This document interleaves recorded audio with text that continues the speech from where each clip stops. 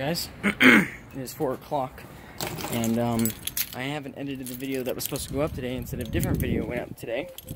Um, I've been working on my car all day with my dad but um, you can see I don't know if you can see that but that's not supposed to be red. No it's not blood. Um, my dad spray painted it because if you guys can tell um, this is dented now. I hit something uh, won't go into details um, I want to bore you with the story, but um, yeah, I hit something and my hood was like, you know, and uh, so, and it wouldn't open, so we had to take the entire bumper off and then unlatch it, and then um, my Honda logo now fell off, so he just spray painted it red. But uh, Badass Betsy is uh, good to go though. Um, this is kind of up still, but uh, we'll see what happens. I'm I'm very dirty and disgusting right now, so um, yeah, done with that.